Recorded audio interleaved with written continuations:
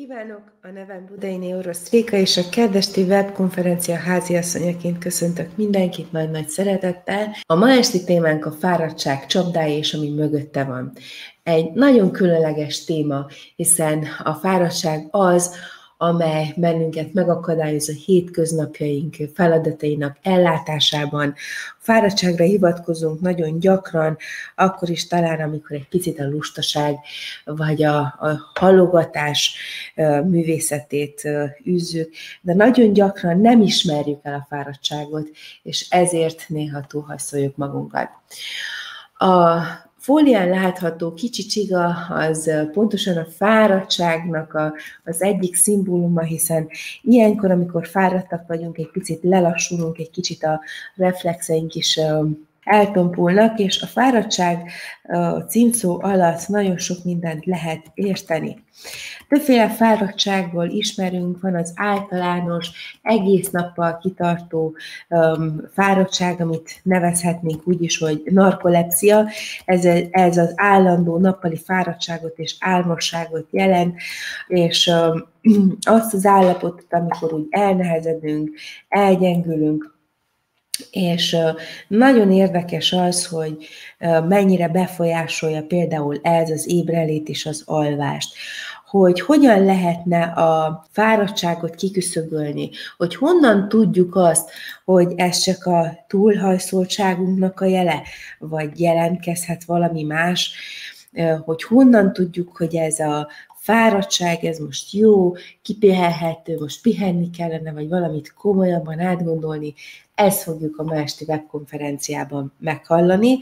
Kedvenc előadom dr. Budai László Károly, orvos, természetgyógyász, germánygyógytudomány terapeuta segítségével, aki bevezet bennünket a germánygyógytudomány világába, meg fogja ismertetni önökkel azt, hogy kifedezte fel, mit kell a germánygyógytudományról hallani, illetve mit jelent a fáradtság, melyek lehetnek a csapdái, és egyáltalán hogyan kezeljük a fáradtságot, és mindazt, ami mögötte van a germánygyógytudomány fényében.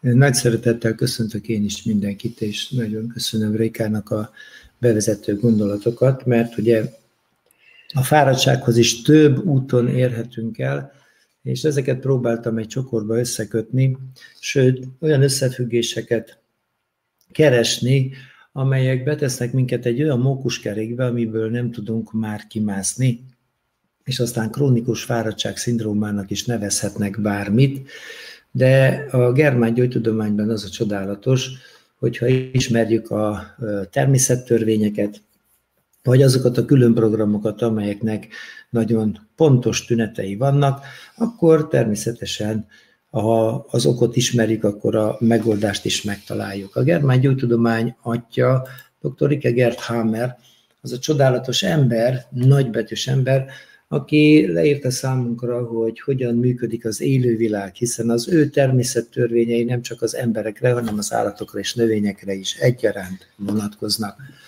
Felhívnám a figyelmet arra a mondatra, ami ezen a fólián van, ez Hammer doktortól származik, a germán gyógytudomány orvosoknak és betegeknek íródott, akiknek szívük és józan eszük van.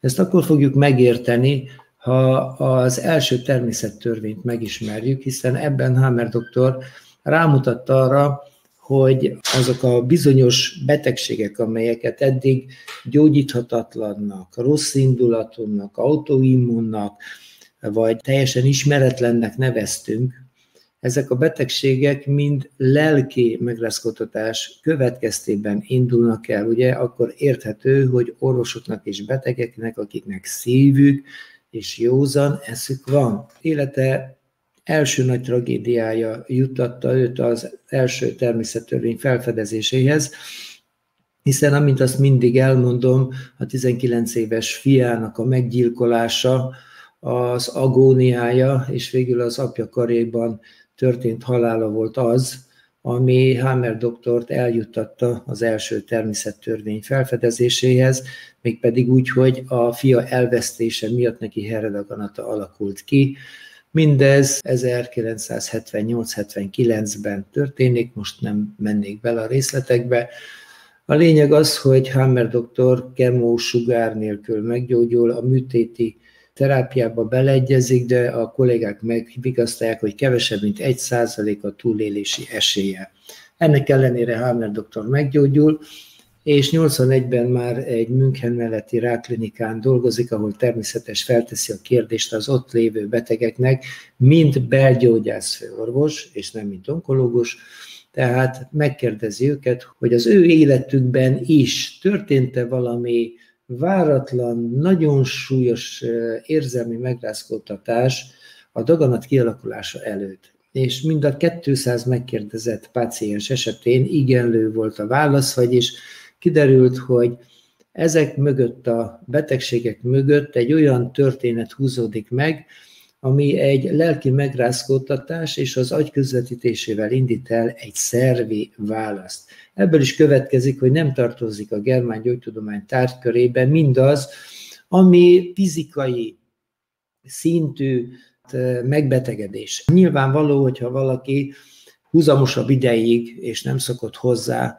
erős fizikai munkát végez, akkor igencsak fáradt lesz, és ez semmilyen betegségnek nem tünete, hanem csupán arra próbál minket rászedni, hogy jó lenne pihenni.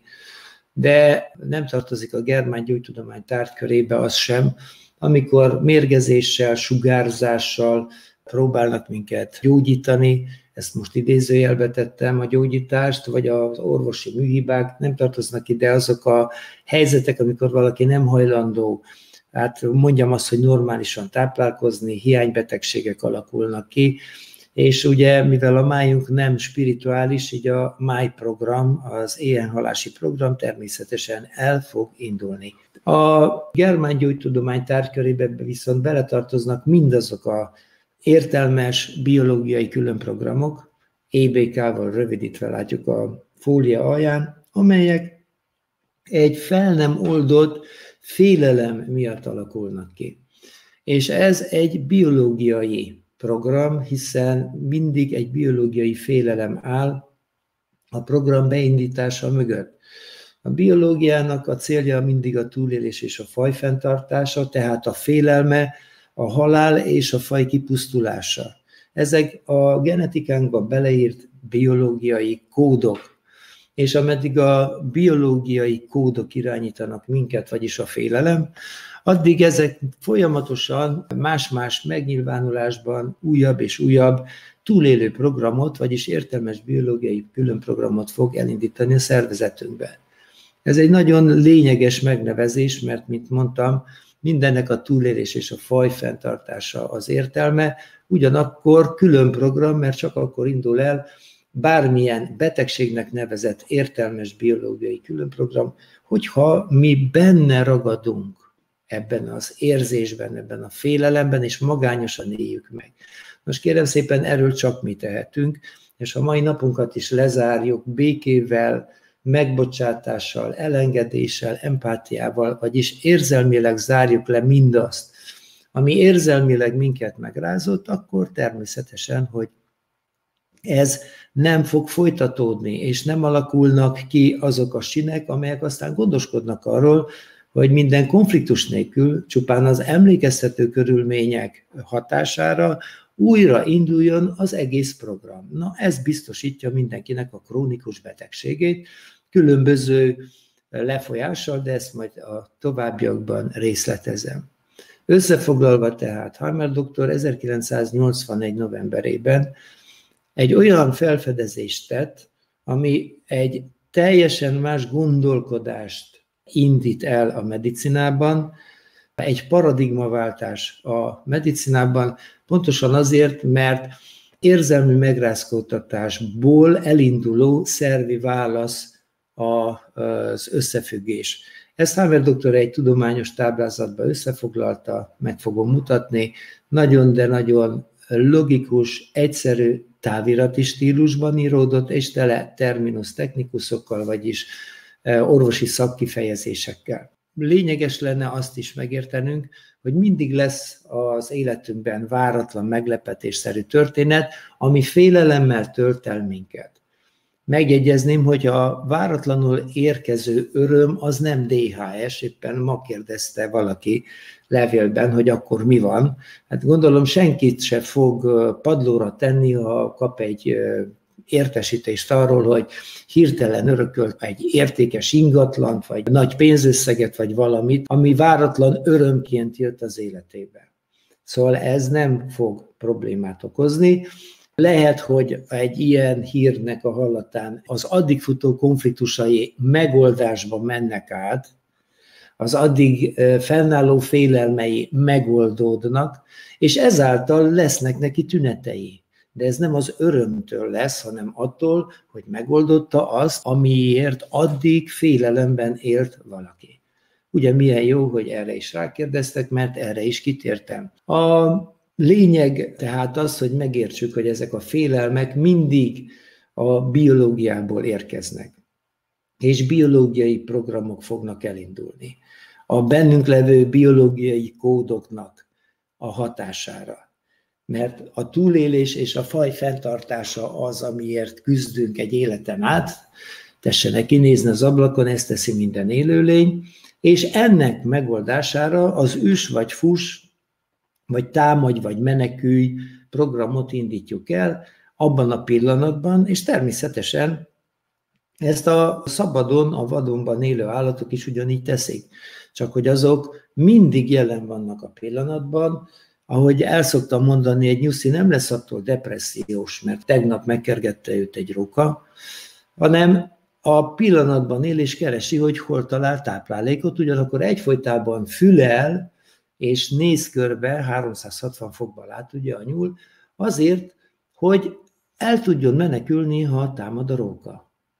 Ezért nem fogunk depressziós vadállatokat találni. A házi állatok az más téma, azok már nem a számukra megfelelő körülmények között élnek, és ezeknek természetesen már lesznek úgynevezett betegségeik, de a tüneteket ugyanúgy megtaláljuk, mint az emberen. A Hammer doktor által leírt tudományos táblázat ezekre a kérdésekre is nagyon pontos választ fog adni.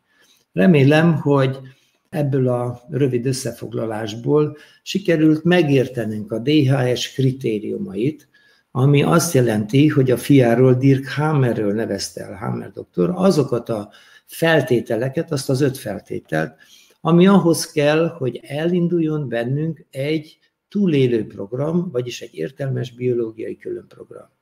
Vagyis ha lezárjuk a mai napunkat is békével, akkor bármit megéltünk a mai napon, annak nem lesz hosszú távú következménye, mert az érzelmi feloldás szükséges ahhoz, hogy a sinek egyszer és mindenkorra eltűnjenek. Ha ugyanaz ismétlődik, akkor azt jelenti, hogy nem történt meg az érzelmi megoldás, úgy gondoltam, hogy megbocsátok, de nem felejtek. Az egyetlen valóság mindenki számára saját megélése lesz, és pontosan ez az oka annak, hogy a betegség a beteg nélkül nem gyógyítható. Minden nap kapok olyan leveleket, amiben valaki leírja, hogy a másik embernek mi a baja az senki nem tudja leírni, hogy a másik ember érzelmileg mit élt át. És hogyha engednénk, hogy a beteg írja le a levelet, akkor kiderülne a szóhasználatából az is, hogy pontosan mit élt meg. Természetesen a tünetek alapján ez megfejthető, hiszen minden félelem mögött egyetlen tünet fog megjelenni. Csak vagyunk olyan intelligensek, hogy egyetlen konfliktus helyzetben nem egy, hanem legalább 5-6 túlélő programot elindítunk. Tehát tessenek megérteni, hogy ez a mondat figyelmeztetés, és nem egy önvédelmi mondat. Hammer doktor röviddel az első természettörvény felfedezése után, ami ugye 1981-ben volt, a második természettörvényt is felfedezi, mert mint belgyógyász főorvos tisztában volt a tünetekkel, csoportosította német precizitással.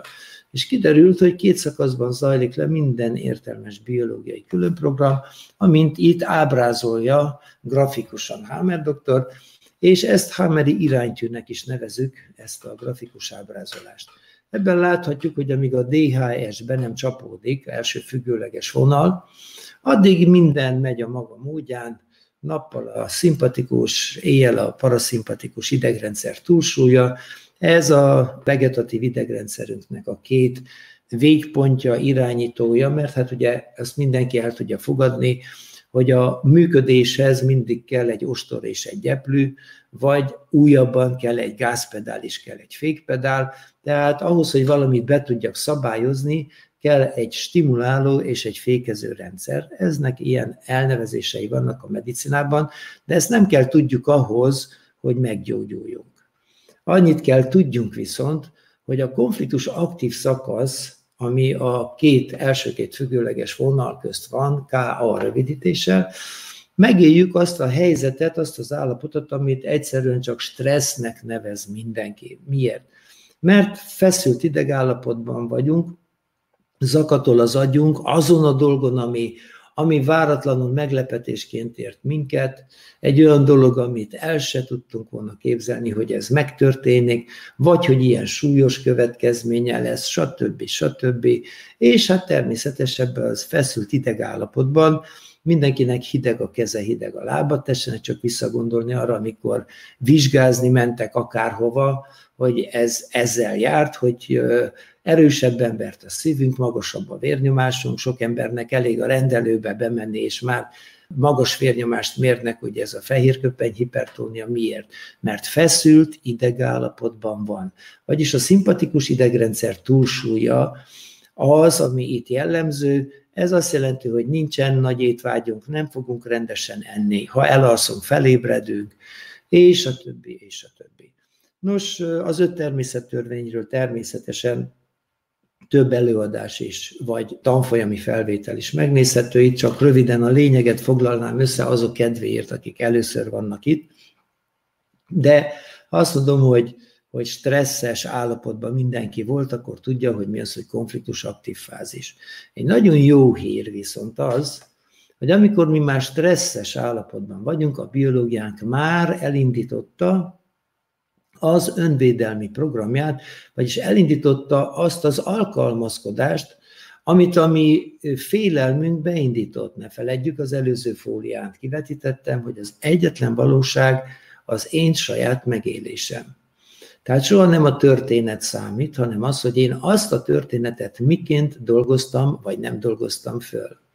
A KM a konfliktus megoldásának a pillanatát, körülményeit jelenteni, Nyilvánvaló nagyon sok konfliktusunk megoldódik, mondjam úgy, hogy csak magától, mert megváltoznak a körülmények, mert másik munkahelyre megyünk, mert megoldódik egy konfliktus azáltal, hogy az illető elköltözik, vagy frekvenciát vált, stb. stb. Csak hogy ezek nincsenek érzelmileg lezárva, és előfordulhat, hogy 17 éves koromban megéltem valamit, és aztán 45 éves koromban nem tudom miért, de ugyanazok a tünetek előjönnek. Most csak idéztem egy másik levélből, amit ma olvastam el. Szóval jó lenne a napjainkat békével lezárni, ezt nem győzöm eléggé hangsúlyozni. Mert ha békével, empátiával zárjuk le, akkor ezek a sinek eltűnnek. És azért egyezünk meg, a mai nap történeteire még mindenki fog emlékezni, és hogyha ezt naponta begyakorolnánk, akkor meg se tudnánk betegedni, és itt most be is fejezhetném az egész webkonferenciát. No de, ha már belemásztunk szépen egy konfliktus aktív szakaszba, és benne ültünk egy hetet, egy hónapot, egy évet, vagy tíz évet, mert hogy ilyen is van, és valamikor ez megoldódik, akkor jön az MK, vagyis a megoldást követő fázis, aminek, amint látjuk, három szakasza van. A két piros között pedig egy szép, nagy, magas kék színnel besatírozott rész. Nos, az első piros mély hullám az exudatív fázis, azért exudatív, mert exudátumnak nevezik azt a folyadék gyülemet, ami a sejtek közötti állományban megjelenik. És ennek ugye természetesen tünetei vannak, senki se azt fogja mondani, hogy exudátum van a térdemben, hanem azt fogja mondani, hogy begyulladt a térdem. És ugye a gyulladás tüneteit mindenki ismeri, az, hogy rubor, tumor, calor, dolor, funkció lézá, oké, okay, rendben lefordítom, tehát piros lesz, duzzat lesz, meleg lesz, fájdalmas lesz, és nem működik rendesen, és ugyanakkor itt az exudátum alatt megjelenik a fejfájás is természetesen, mert az exudátum nem csak szervi szinten, hanem az agyi relé szintjén is megjelenik, mint egy perifokális ödéma, amit természetesen félrediagnosztizálnak, de most ezekben nem akarok belemenni. Tessenek megnézni az agydaganatokról vagy agyvérzésekről szóló webkonferencia anyagot, és megértjük. Szóval itt aztán tényleg szenvedünk, és már is futunk a rendelőbe, hogy doki, beteg vagyunk, gyógyíts meg. Természetes az orvost arra képezték ki, hogy a tünetekre tüneti kezelést adjon, és mit fogunk kapni? Gyulladáscsökkentőt. Természetes az sem mindegy, hogy milyen gyulladáscsökkentőt kapunk, mert hogyha szteroid gyulladáscsökkentőt kapok, akkor az visszatesz engem a konfliktus aktív szakaszba, ugyanis a konfliktus aktív szakaszban a szteroid hormonjaink szintje is megemelkedik, és ott ugye még nem fájt semmi. Tehát ha én itten a a, mondjuk a térdizületbe beszúrok egy szteroid injekciót, hát ez egy fantasztikus orvos, na ez tudja a szakmáját, mert elmúlt a fájdalom. És segített a gyógyulásba? Nem. A tünetek eltűntek, visszakerültem konfliktus aktív fázisba, és amikor a szervezetem újraindítja az egészet, akkor természetes a gyulladás ismét meg fog jelenni. Szóval nem mindegy, hogy mit veszünk be, a fájdalmat lehet fájdalomcsillapítóval csillapítani, a gyulladás gyulladás csökkentővel, kérem szépen a vizes borogatást már régen felfedezték, a jegérzacskót a fejünkre már régen felfedezték, ezek még ma is nagyon korszerű kezelési módszerek, és a több döbbenet az, hogy ezeknek nincs mellékhatása. Ha a történetet hagyjuk, hogy tovább menjen, igen, ha hagyjuk és nem elakasztjuk a gyógyulást, akkor bejutunk az epileptoid krízisbe, ott középen az a kimagasló kék besatírozott rész, ami nem véletlenül olyan magas, hiszen itt fogjuk a legdurvább tüneteket megélni, és itt már ugye minden, minden másképpen zajlik. Nem mindegy, hogy a tápcsatornáról van szó, mert így ugye akkor itt bélgörcsök meg hasmenések fognak jelentkezni, vagy éppenséggel az ízületeimről van szó, mert a jó hír, hogy itt eltűnik a fájdalom, de más esetekben ugye mélyvénás trombózis, szívmegállás, tüdőembólia, stb. stb. stb. jelenik meg. Itt most nem megyek a részletekbe, és az a kérdése annak, aki először van itt, hogy de hát hogy csinálhatott ilyet a teremtő, hogy én ekkora szívásnak legyek az áldozata, mert kérem szépen, ismét emlékeztetek mindenkit, hogy ezek a tünetek is csak tőlem függnek, mennyit ültem a konfliktus aktív fázisba. Milyen erősen éltem én meg azt a bizonyos konfliktust. Ha lezárom a napjaimat békével, tessenek nyugodtan letesztelni, ha meg is éltem valamit a következő nap, enyhe tünetek után minden megoldódik. Egy napi konfliktus aktivitás egy nap alatt megoldódik.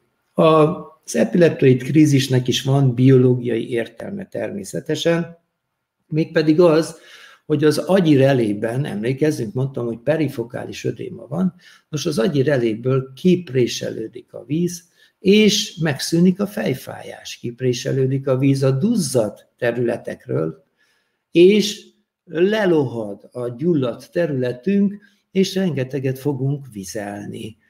De utána jön a heggesedési fázis, amikor megint meleg lesz kezünk, lábunk, és úgy érezzük magunkat, hogy kifacsart mosogató rongyok vagyunk, és akkor meg is érkeztünk a mai nap témájához, mert ezt az extrém fáradtságot, ezt mindig itt érezzük.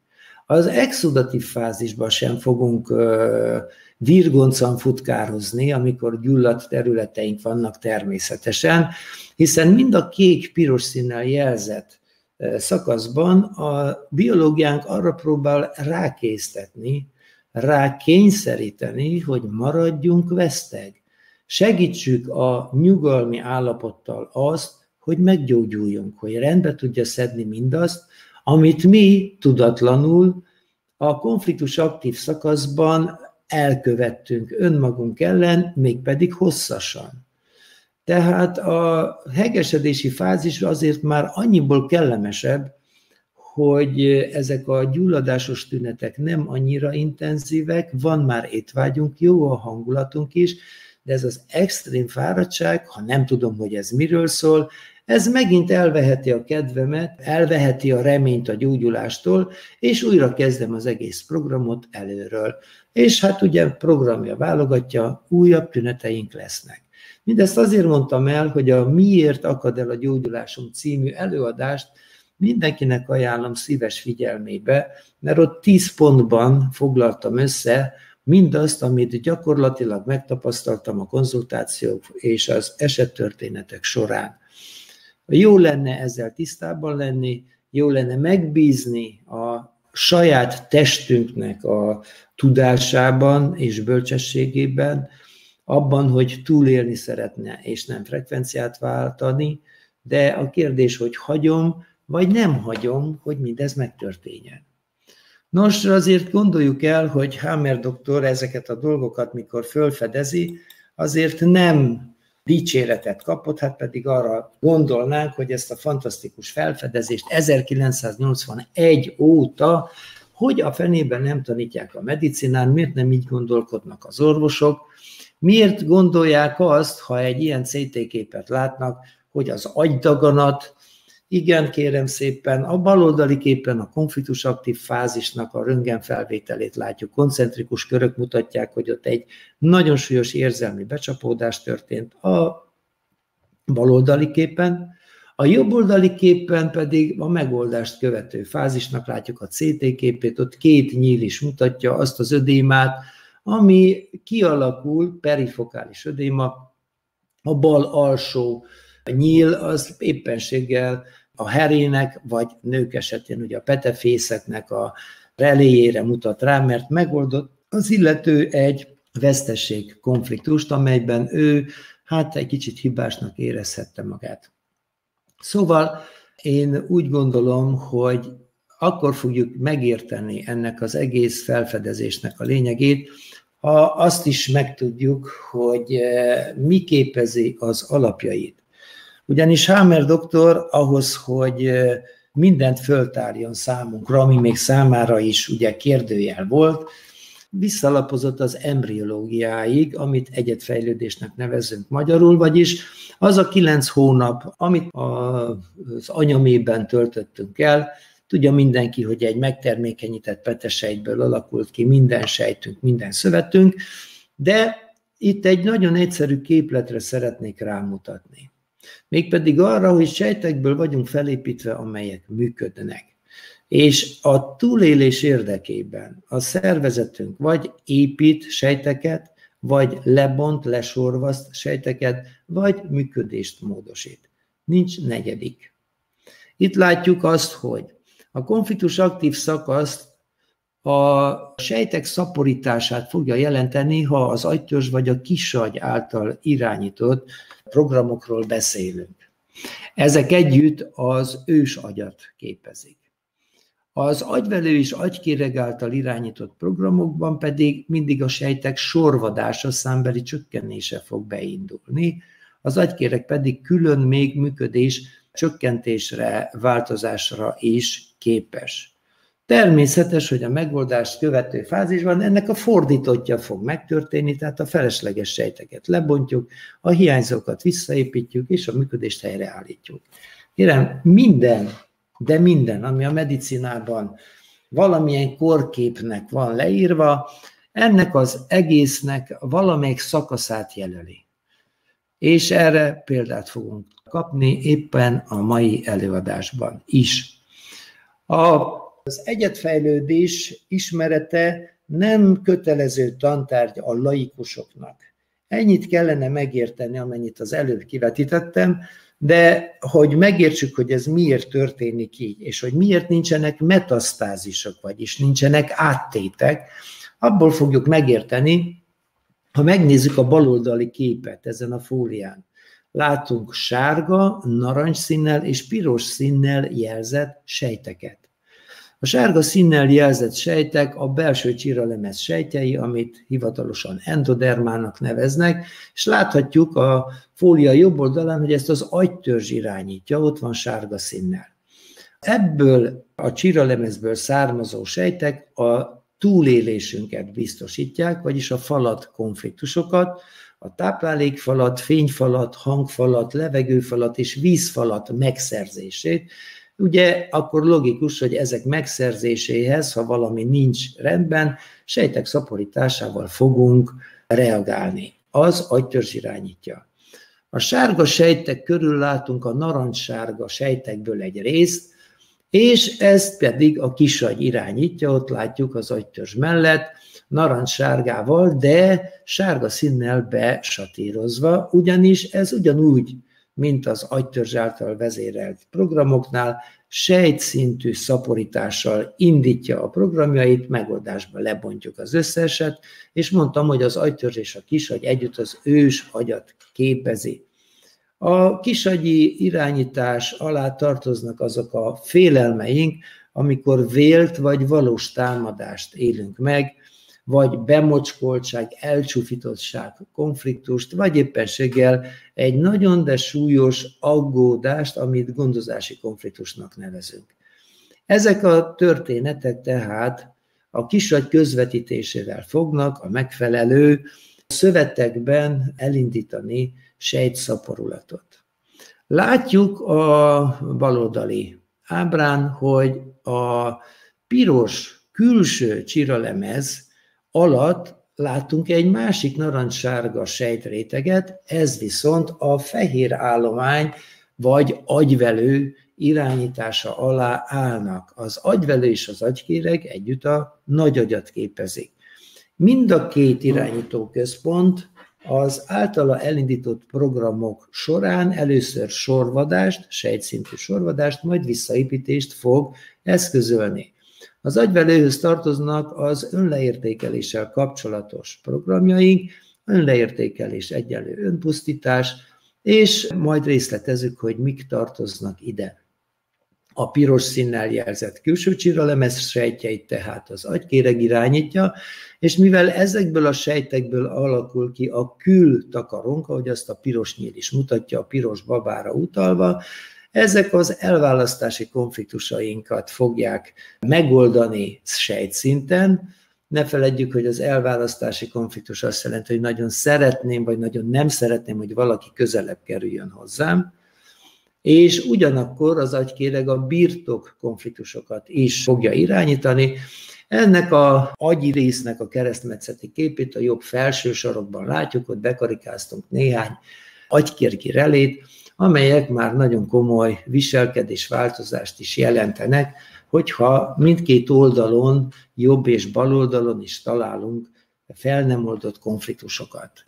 Vagyis a viselkedés változása is választ kapunk a germán gyógytudomány ismeretében. Felhívom a figyelmet, hogy ezek a nyílak egy irányba mutatnak. Senki nem tudja visszaalakítani mondjuk a belső csiralemezből kialakított sejtjeit a középső csíralemez sejtjeié. Hogyha valakinek prostata programja van, akkor nem fog a prostata sejtje csontsejté alakulni, mert ez biológiai képtelenség. Akár milyen negatív irányú útmutatást ad nekünk valaki, hogy hova menjünk, ugye az se fogja megoldani azt, hogy valakinek az egyik csiralemezből származó sejtje egy másik csiralemezből származó sejté alakuljon. Szeretnék mindenkit megnyugtatni, hogy nem metasztázisok, vagyis áttétek vannak, hanem újabb és újabb fel nem oldott programok, következmény konfliktusok, nos ezért kellene megismerni az egyes programoknak a gyógyulását, kifutását, hogy ne akadjon el a gyógyulásunk. Itt látjuk Hammer doktor tudományos táblázatát, ugyanazokat a színeket, sárga, narancs, piros, és a konfliktus típusokat, amelyekről már érintőlegesen beszéltem. Tehát az első oszlop agytörzs irányításába kerülő biológiai programjaink, ezek a falat konfliktusok. Ugye a szervezetünknek minden, de minden falat, ami szükséges a túléléshez.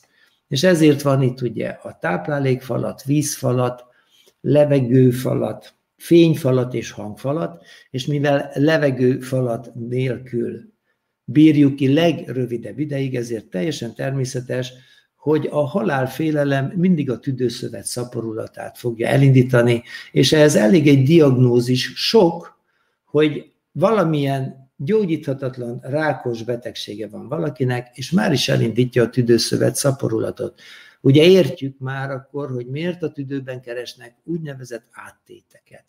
Egy hónapon belül biztos, hogy ott lesz, ha valakinek ez a félelme megjelenik, és nem oldja fel. A magány a leggyilkosabb érzés, mert begyűjtjük a magányosság érzése alatt azt a vizet, ami végül is pontot tesz a szenvedések végére. Értsük meg, hogy ilyenkor úgy működünk, mint a partra vetett hal. Ide vezetnek az egzisztenciális konfliktusaink is, amikor a létezés feltételei nincsenek biztosítva. Ezek az egzisztenciális konfliktusok, ezért nevezzük röviden létkonfliktusoknak ezeket. Milyen érdekes, hogy valahogy a társadalom, vagy a politika, vagy a világ irányítása nem az emberek jó létének a biztosítására törekednek, hanem az állandó konfliktusok fenntartására, félelemkeltésre, és hogy éppen csak, hogy éhenne halljunk állapot fenntartására. A kisagy által irányított programjaink, ugye, mint mondtam, vélt vagy valós támadási konfliktusok, ne feledjük el, hogy az agyunk nem tud különbséget tenni a valóság, az álom és az illúzió között, és ez a helyzet megteremti azt, hogy nem kell senki sem megverjen, csak félnem kell attól, hogy valaki megtámad. És elindítom azokat a programokat, amelyek az írhán, vagy az írha járulékaiban, fagyumirigyben, berejtékmirigyében indul el, vagy a burkokban, hashártya, melhártya, szívburok, indul el. És mint említettem, a gondozási konfliktus a túlzott aggódást jelenti, ez viszont az egyik fajta meldaganat, az adenokarcinoma megjelenését fogja okozni. A narancssárga oszlop alsó része már ugye a nagyagy által irányított önleértékelési programokat tartalmazza. Itt először sorvasztunk, aztán visszaépítünk. Többnyire a mozgással kapcsolatos szöveteink lesznek érintettek, mint a csontok, a csontokat összekötő ízületek, a csontokat elmozdító haráncsikolt izomzat, a haráncsikolt izomzatot ellátó osztógyűjtő és nyirokerek, valamint a kötőszövet, és ide tartozik a zsírszövet is.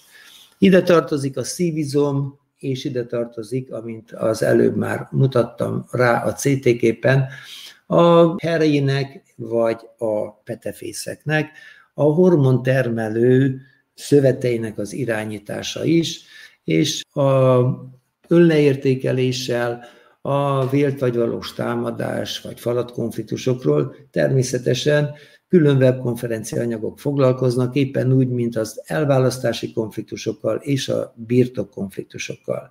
Ezeket a piros mezőben látjuk feltüntetve Hamer doktor táblázatán.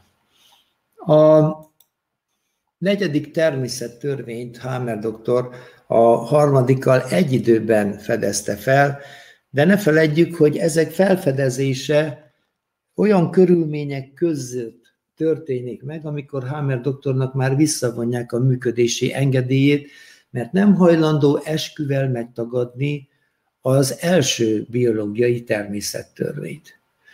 A bíróság kötelezte a Tübingeni Egyetemet a felülvizsgálat elvégzésére, az egyetem mai napig ezt nem tette meg. Vajon miért? Mert nem tudják azt mondani, hogy Hammer doktornak nincs igaza. Senki még tudományosan nem igazolta azt, hogy Hammer doktor nem mondott volna igazat. Viszont ha neki igaza van, akkor az egész medicinát át kell írni, akkor kiderül, hogy az emberek saját erejükből meg tudnak gyógyulni az esetek 80%-ában. Továbbra is szükség lesz természetesen egészségügyi ellátórendszerre, de nem ekkorára. Tized ekkora egészségügyi ellátórendszer képes lenne az emberiséget ellátni, hogyha tisztában lennénk a biológiai törvényekkel, azok következményeivel, és természetesen úgy élnénk, ahogy azt már az első természettörvénynél javasolta. Nos, a negyedik természettörvény rámutat arra, hogy azok a mikroorganizmusok, amelyek bennünk élnek, velünk együtt békében megvannak, azok úgy segítenek pontosan, ahogyan szükséges. Vagyis a gombák és a gombabaktériumok segítenek lebontani a felesleges sejteket, ha falatkonfliktust, vélt vagy valós támadást, vagy gondozási konfliktust éltünk meg. Ugyanígy a baktériumok és a vírusok segítenek visszaépíteni azokat a sejteket, amelyeket lebontottunk konfliktus aktív szakaszban, és az agyvelő, illetve agykéreg irányítása alatt vannak. A megoldási szakaszban a gyulladás az természetesen a visszaépítésünket segíti, de egyben megoldja az epileptoid krízisben, hogy ezek a segítőink a megfelelő számra visszaálljanak. Tehát felszaporodnak a konfliktus aktív szakasz alatt, meg segítenek a sejtek számát visszaállítani az exudatív fázisban, és eltűnnek az epileptoid krízisben minden gyógyszer nélkül. Nyilvánvaló nem mindegy, hogy milyen hosszú a konfliktus aktív szakasz. És mindaz, ami antibiotikumként hat ezekre a segítőinkre, ez elsősorban az antibiotikumok hatása az, hogy a konfliktus aktív szakaszba kerül a biológiánk, ezért fog eltűnni a láz az antibiotikum hatására, és nyilvánvaló, hogy már nem biológiai módszerekkel fog a szervezetünk meggyógyulni, de ez bizony egy nagy konfliktus tömeg esetén ez életmentő is lehet. Lásd, régen hányan meghaltak tüdőgyulladásban, és mit segített az antibiotikumok felfedezése, a penicillin felfedezése után. Az egy másik téma, hogy ezt hogyan alkalmazzuk, hogy feleslegesen alkalmazzuk őket, stb. stb. Nem akarok ebbe belemenni, de egyezünk meg egyszerű dolgokban, hogy például a humán papillomavírus, a HPV-nek az eltüntetésére nem oltásokat kellene alkalmazni, hanem csupán a féltékenységet megoldani, drága hölgyeim, és akkor eltűnne a humán papillomavírus a kimutatható laborértékek közül. A negyedik természettörvényről is van természetesen egy részletes előadás, akit érdekel, az megvizsgálja, és érteni fogja, hogy miért tartunk ott, ahol tartunk.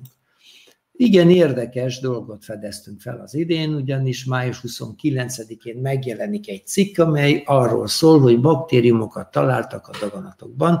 Ezt orvosi szaklapból idézem, ezt az egészet, amit ide behoztam, hogy új rákterápia jöhet. Hát kérem szépen, már, mint mondtam, 87 óta tudjuk, hogy a baktériumok ott vannak, akár daganatnak neveznek egy gyógyulási történetet, akár csak gyulladásos területnek, teljesen mindegy, az összes rákfajtában jelen vannak a mikróbák. Na kérem szépen, akkor 87 óta eljutottunk 2020-ig, hogy legalább ennyit elismerjünk, de kérdés, hogy mindennek mi a célja? Az új rákterápia miről fog szólni? Akkor kivonjuk a kemót, és beindítunk újabb baktérium ellenes kezeléseket. Értsük meg, tízszer több baktérium van a szervezetünkben, mint ahány sejtünk van, és ezek a mi alkotó elemeink. A krónikus betegségeknek a megértését a My Studenten Mékhen című könyvből vett ábrák alapján fogjuk megérteni. Ugyanis ha meg sem oldom a konfliktust, akkor függő konfliktus aktivitásban maradok, és Folyamatosan lesz egy sejtépítő folyamat a szervezetemben, vagy egy sejtszintű sorvadás, vagy éppenséggel egy működésváltozásnak az eredménye.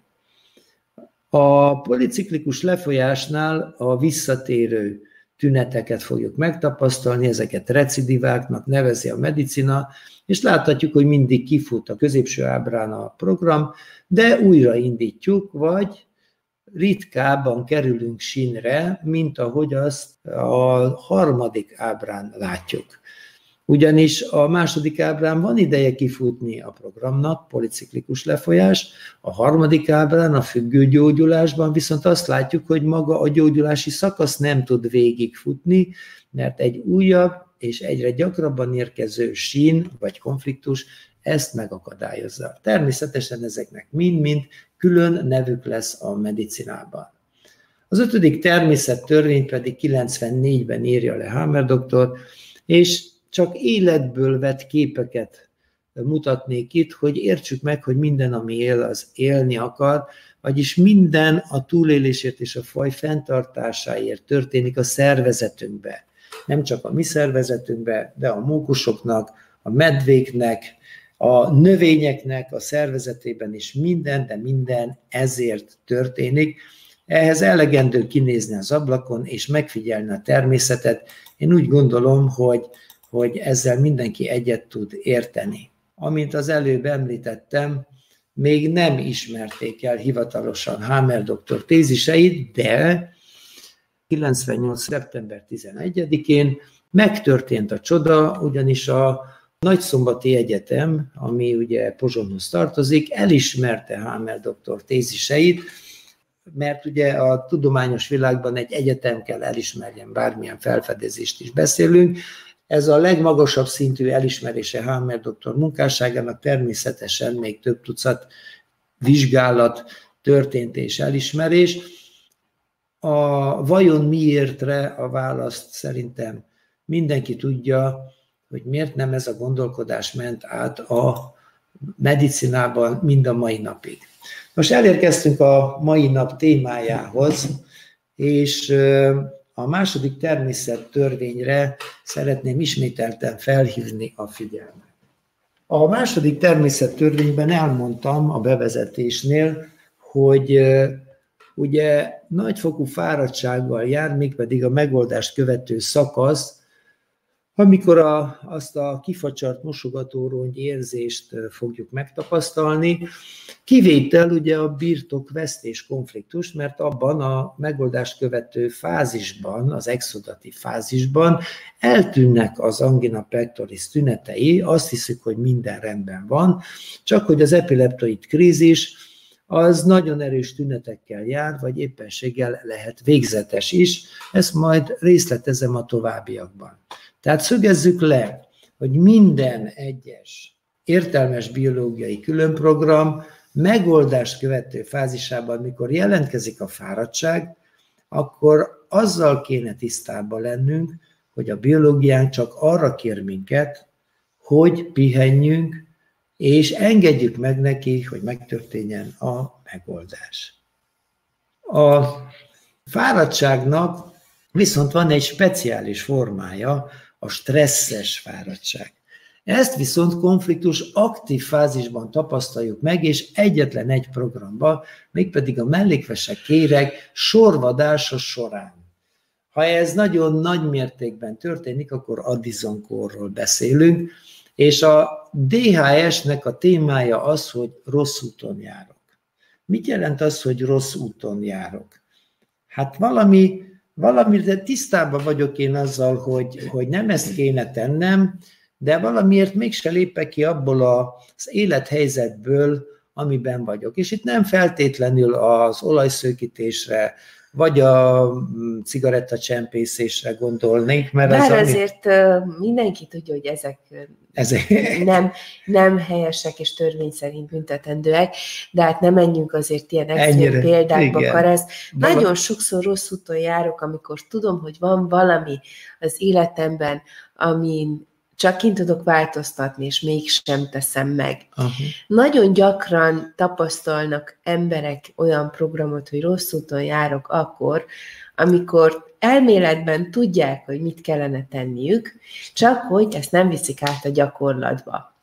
Nagyon okosak és bölcsek tudunk lenni más emberek életének a helyretétele kapcsán, mert ugye ez is kicsit olyan, mint a fotball, hogy mindenki ért hozzá. Igen és nagyon egyszerűen átlátjuk egy szomszéd egy, egy ismerős életének a bonyodalmait. Nagyon könnyen azt gondoljuk, hogy tudjuk, hogy neki mit kellene megtennie, de amikor saját magunkra vonatkoztatva kellene érdemi előrelépést eszközölni, vagy mondjuk egy változást, egy külső vagy egy belső változást, én azt hiszem, hogy ezek ketten kéz a kézben szoktak előfordulni, mert a belső változás megjelenik a külsőn, de sajnos a külső fizikai tényezők változása nem változtat a belsőn, hát, és nagyon érdekes az, hogy mivel kezdjük a, a gyógyulási folyamatainkat, zömével azzal, hogy, hogy úgymond életmódot változtatunk. úgymond igen, ezt jól mondtad. Azért teszem az úgymond életmód változtatást idéző jelbe, és tessenek önök is így érteni, mert a problémák nem attól alakulnak ki, hogy mit táplálkozom, milyen eredetű állati vagy növényi eredetű dolgokat engedek be a testembe, hanem attól betegszik meg, hogy mit gondolok, hogyan érzek, hogyan viselkedek, és hogyan gondolkodom önmagamról, a világról és a társaimról. Nos, külső-belső változás során egyértelművé vált, hogy azáltal, hogy valamit nem eszek meg, mondjuk nem fogyasztok cukrot, attól nem válok jobb emberré, sőt, talán pont ez az a frusztráció, ami még elviselhetetlenebbé tud engem viselkedésben tenni, azáltal, hogy tudom, hogy van valami, amiben én hiányt szenvedek. Hát de ennek megvannak a tünetei, mert tényleg akinek alacsony a vércukorszintje, az, az nagyon ingerülté válik. Így van, és ha, ha a rossz úton járok programról beszélünk, akkor előbb-utóbb mindenkiben felmerül, hogy vajon teljesen biztos az, hogy ez a diéta fog engem megváltoztatni, vagy ez fog meggyógyítani. Nagyon gyakran ö, tapasztalok olyan beszámolókat, amelyekben már mindent kipróbáltak, és még semmi nem hozta meg az áttörést, a, a csodát, mm. mert nyilvánvalóan ez egy külső változás, egy külső tényezők megváltoztatása, címszó alatt futott, de belül ugyanazokkal a gondolatokkal, problémákkal küzdök, és nagyon gyakran tapasztalok ilyen beszámolókat, kedves Karesz, amiben azt mondják, már mindent kipróbáltam, semmi nem működik, eddig csak zsákutcákba futottam, rossz úton járok a gyógyulásomat illetően. Igen, van ilyen, hogy akkor írnak levelet, amikor már kifogytak az kifogytak ötletekből. Az ötletekből. Pont ilyen levelet olvastam a mai nap is, így hogy valahogy a, a levelezések is adják a témát a webkonferenciákhoz, hogy ezt jó lenne előbb ezt megismerni, és természetesen szükség van megfelelő táplálékra a gyógyuláshoz, de nem ez okozta a betegségünket. A másik rossz úton járók az nagyon gyakran magánéleti programoknak a, a következménye.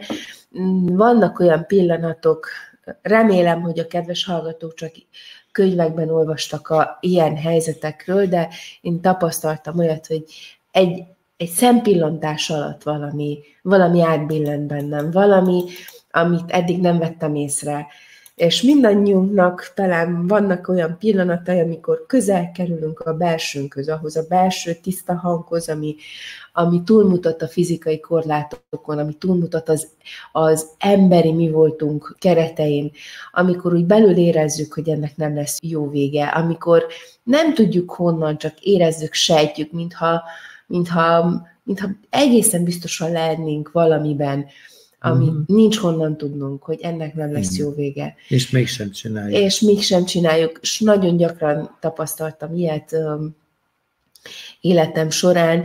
Szerencsére nem a közelmúltban, hanem több mint egy évtizede volt ilyen utolsó emlékem, hogy húha, ez így, ez így nem lesz jó.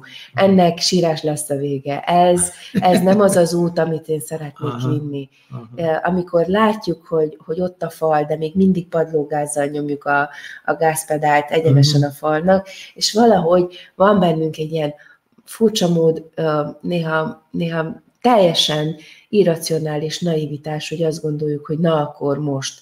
Mindannyian futhatunk olyan köröket, amikre már, már az elején tudjuk, hogy ez a veszett fejszenyelet című fejezet lesz az életemben. De volt egy olyan reggelem, ami számomra kiábrándító volt, amikor felébredtem egy olyan munkahelyen, amit, amit addig nagyon szerettem, még tegnap meséltem erről neked, Karesz, hogy Igen. kinéztem a, az ablakon, és elgondolkodtam azon, hogy én egész életemben itt szeretnék lenni, és vajon tényleg csak ennyi lenne az életem, hogy ezt csináljam, amit akkor tettem. Ez egy Igen. több mint húsz éve történt szerencsére ez az eset. És hál' de, Istennek, hogy a felismerésed jó irányba vezetett. De az, amikor, amikor így ráébredünk a valóságra, és ezek nem derűs és rózsaszír most pillanatok, hölgyeim és uraim, hanem nagyon sokszor kemény felismerések. Volt olyan tapasztalatom is, hogy akkor, amikor lefeküdtem aludni, és végig gondoltam, hogy milyen napom volt, és milyen hetem volt, és milyen hónapom volt, és milyen évem volt, és rádöbbentem arra, hogy ezt csinálom magammal már több éven keresztül, és nem vagyok boldog, és nem vagyok elégedett, és nem vagyok büszke arra, amilyen életet éltem. És itt most nem arra gondolok, hogy nem végeztem becsületesen a munkám, csak nem ezzel az égővágyjal érkeztem a bolygóra, és eszembe jutott, hogy az a négy és fél éves göndörhajú kislány, aki azt álmodozta, hogy majd ez lesz, majd az lesz, majd, majd, majd ezt csinálja, majd azt csinálja, mint amit gyermekkorban így, így elképzelünk, és a gyermekkornak pont ez a varázsa, hogy nem ismer korlátokat, csak, csak nyitva vannak a kapuk és az ajtók, és annak a szabadságnak, annak a lehetőségnek is bódító az illata, hogy bármi lehetek hogy bármilyen feladatot el tudok érni, hogy akármi megtörténhet. Na ez felnőtt korban uh, valahogy átalakul, hogy, hogy akármiből valahogy eljutunk a semmiig, és nagyon érdekes az, hogy akkor, amikor rádöbbenünk, hogy a gyermeki énünk vajon büszke lenne arra, akik most vagyunk, vajon boldogok lehetnénk-e valami más munkával, valami, valami más feladattal, és akkor, amikor rájövünk, hogy ez a munka nem az a munka, amit szeretnénk, ez a kapcsolat nem az a kapcsolat, amit szeretnénk, nagyon gyakran felébredünk arra, hogy valahogy a nevelési struktúráink is teljesen más irányba vittek, mint ahogy mi elindultunk nem biztos, hogy mi vagyunk a legtökéletesebb háziasszonyok, a legtökéletesebb feleségek, a legnyugodtabb, empatikusabb anyák, a legkedvesebb, legtürelmesebb kollégák, és amikor azt látjuk, hogy azok az elképzelések, elvárások, feladatok, azonosultságok, szerepek, amiket viszünk, abban kicsit megkeseredünk, kicsit belefáradunk, és valljuk be, hogy egy picit kiégünk, ezek azok, amelyek akadályai annak, hogy valóban azt éljük, amit szeretnénk, és itt van a nagy kérdés, a rossz úton járok. Ugyanez van akkor is, amikor egészségtelenül sok kompromisszumot kötünk amikor a kompromisszumról beszélünk, mindenki azt mondja, hogy ez milyen nagyon jó dolog. Ajaj. A kompromisszum kérdésében én nem vagyok ezen a véleményen, hiszen ha kompromisszumot kötök, akkor valami olyanra mondok igent, Ami amire minden jó. sejtem azt mondaná, hogy nem. nem. A békesség, a nyugalom, a családi béke kedvéért, hogy meg ne szóljanak, hogy mit mondanak mások, hogy jaj, mit fognak mondani a többiek, hogyha ha nem úgy reagálok, ahogy ezt ők elvárják. Nagyon sokszor ennek külön hangot adnak emberek, hogy mi az elvárásom, mi a, az elképzelésem. Nagyon sokszor teljesen illetéktelen emberek mondják meg azt, hogy neked vagy nekem mit kellene tennem. Ezt most éppen meg is tapasztaltok. Igen, ezek, ezek azok a helyzetek, amikor vagy egészségtelen kompromisszumot kötünk, és megalkuszunk, uh-huh. és ezek azok a helyzetek, amelyekben egészségtelen a kompromisszum, mert elfeledkezünk arról, hogy ez senkinek nem jó. A kompromisszum zömében egy köztes megállapodás, ami egyik felet sem elégíti ki mindkét fél vágyik arra, hogy majd ezért valamit kompenzációként, jutalomként kapni fog. De mivel mindkét félnek egyformán rossz, és mind a kettő várja, hogy majd valami jót kap helyébe, és ez nem történik meg, akkor döbbenünk rá arra, hogy mennyi mindent úgy tettem, ahogy nekem nem volt jó, és mégsem lett eredmény. Na ez az az igazi helyzet, amiben valóban rossz úton járok. Hát Réka, ezt oly gyönyörűen kifejtetted, hogy én azt hiszem, hogy itt mélyen felkavartad az emberekben az álomvizet, és rájönnek arra, hogy hol kellene megkeresni annak a fáradtságnak az okát, ami egyben stresszel is jár, mert ez a stresszes fáradtság, meg konfliktus aktív szakaszban a stressz ott van, de fáradt vagyok, és miért? Mert a biológiám elveszi tőlem a kortizont, ami kellene ahhoz, hogy megoldjam a stresszt. Miért veszi el? Mert rossz úton járok, ez az érzésem. Hát fantasztikus a biológia, kérem szépen, vegyük észre, meg akar akadályozni abban, hogy tovább haladjak a rossz úton. És ezért indul el a mellékvesek kéreg sorvadása, konfliktus aktív szakaszban. Ugye kérdés, hogy ez milyen fokú, mert az addizonkórik nagyon intenzív és nagyon hosszú ideig kell én ebben az érzésben üljek. A lényeg az, hogy gyengeség, fáradtság, vércukorszint esés lép fel. Miért? Azért, mert a mellékvesek kéregállomány a glukokortikoidot vagyis a kortizont fogja legnagyobb mennyiségben előállítani, de emellett még előállít mineralokortikoidot, aldoszteront és androgént. Nos, a mineralokortikoid, vagyis a ásványi anyagok anyagcseréjére ható hormon hiány vezet oda, hogy magas lesz a káliumszín, alacsony lesz a nátriumszín, az aldoszteron szintnek a csökkenése fogja okozni a vérnyomásnak a zuhanását, alacsony szintjét, folyamatosan ürül a víz a szervezetünkből, persze fellép szédülés, kiszáradás és egyéb ilyen kellemetlen történet, és ezeknek együttes hiánya megzavarja már a melanin termelést, a melaninnak az ébrenlét és alvás szabályozásában is van szerepe, de pigment lerakódások fognak létrejönni a nyálkahártyán, barnás színű nyálkahártya, pszichés tünetek lépnek fel, és hogyha felép egy komoly stressz, mint egy műtét vagy egy baleset, akkor kérem szépen nem áll elegendő hormon a rendelkezésre, és fellép az úgynevezett addison krízis. Nagyon gyakran hallunk arról is, hogy például a különböző depresszív hangulatok is milyen fáradékonyá teszik az embert, és mennyire jellemző az apátia, hogyha erről a szempontból világítunk rá, hogy tudom azt, hogy rossz úton járok, és ez nagyon elkeserít, és akkor, amikor már megoldom, és végre jó útra térek. Na, akkor jön a megoldásban az a rész, amikor annyi hormont kapok, hogy itt most már a hormon túltermelésnek fogjuk a tüneteit megtapasztalni. Ugye a kortizon hormon pontosan a megoldási fázisban fog megjelenni. Tehát a megoldásban már nem fáradt leszek, hanem feldobott leszek. Ez nagyon-nagyon szép példája annak, hogy pont a fordítottja történik mindannak, amiről az összes többi program szól. Tehát ez az egyetlen kivétel. És azért kezdtem ezzel, hogy utána helyére tegyük a dolgokat. Tehát, amikor helyére teszem én a dolgot, és jó úton fogok járni, akkor nyilván emelkedni fog a kortizon szint, rendeződik a ásványi anyag csereinek a hormonszintje, az aldoszteron szint viszont megjelenik a hölgyeknél hát a túlzott szőrnövekedés, mert az androgén hormonnak a túlzott termelése ehhez fog vezetni.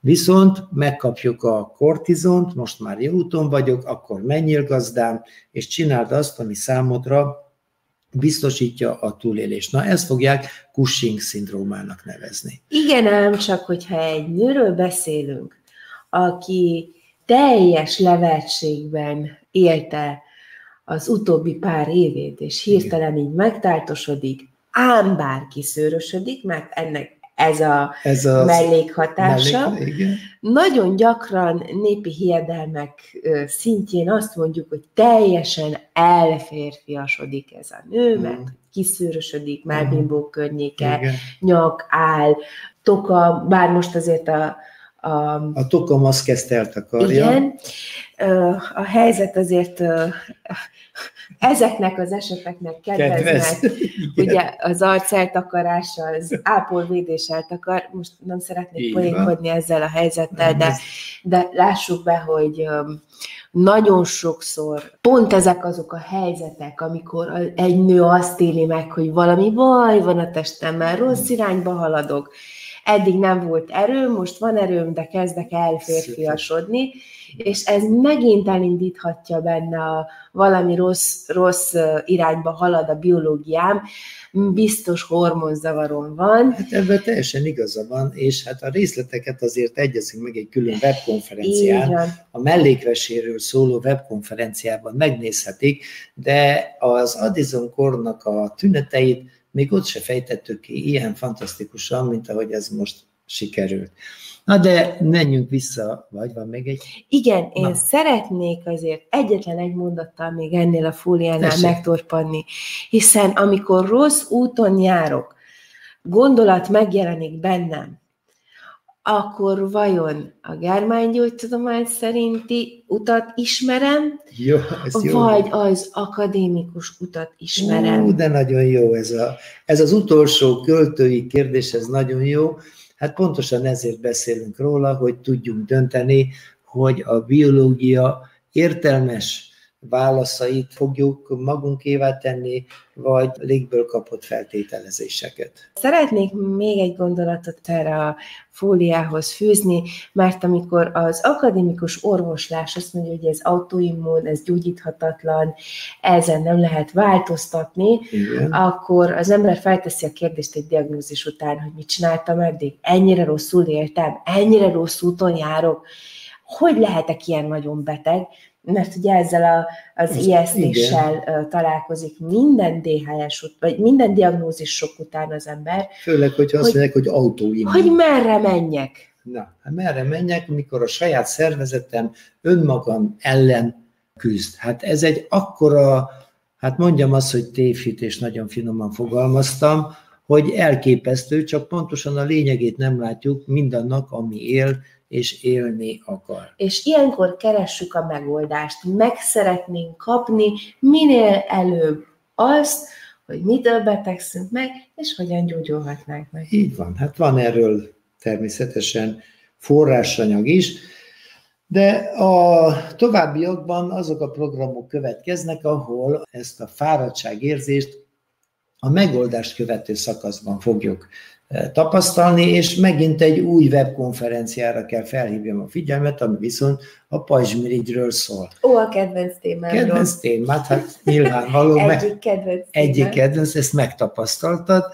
Ugye a pajzsmirigy azért tartozik a falat konfliktusok kategóriájába, mert ahogy elmondom, ugye ő a turbó szerkezetünk, amit beindítunk akkor, amikor azt érezzük, hogy túl lassúak vagyunk a falat megszerzéséhez. Vagyis hétköznapi nyelven nem vagyok elég ügyes ahhoz, hogy több pénzt keressek, mint amennyit keresek. De lehet ez bármilyen egyéb feladatkör amiben úgy érzem, hogy más ügyesebb, gyorsabb nálam, vagy nem más, nagyon gyakran egy elméleti ja, én ideálhoz képest, képest Aha. vagyok túl lassú, mondjuk ezt öt évvel ezelőtt, fél délelőtt befejeztem, most meg este 80 és még mindig nem értem a, uh-huh. a munka végére. Uh-huh. Itt nincs semmiféle versenytárs, itt csak egy elképzelés van. Uh-huh. A falat pedig ebben az esetben, mondjuk ha nagy takarításban fulladunk bele, vagy egy nőjes példát mondjuk, a falat pedig az, hogy végre visszarendeztem a lakást. Igen. De ebben én túl lassú vagyok, hogy ezt Igen. meg tudjam kapni. Jó. Tehát a, amikor ezt meg akarjuk csinálni, akkor természetes, hogy segít a biológiánk a pajzsmirigy hormonjaival, itt ezeket most nem részletezem, de amikor jön a megoldás, hát akkor kérem jön a nagy fáradtság, a kimerülés, és innentől kezdve meg a folyamatos késztetés a versenyre az idővel, és egyezünk meg drága hölgyeim és uraim, hogy akinek a pajzsmirigyével problémája van, annak az idővel is van némi problémája. Mi a véleményed? Javaslom, hogy minden kedves hallgató nézze meg a pajzsmirigyről szóló videót, ott egészen bőségesen kifejtem ennek a történetnek a lelki hátterét.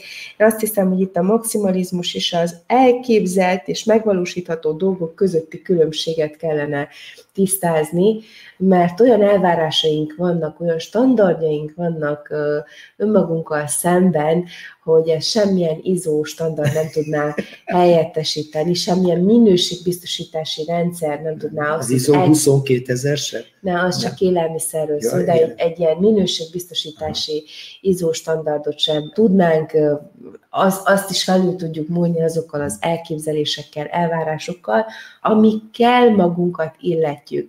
Fontos lenne tudni, hogy ezek az elképzelések csak is kizárólag a mi fejünkben léteznek, csak is kizárólag mi tudjuk, hogy mit szeretnénk elérni.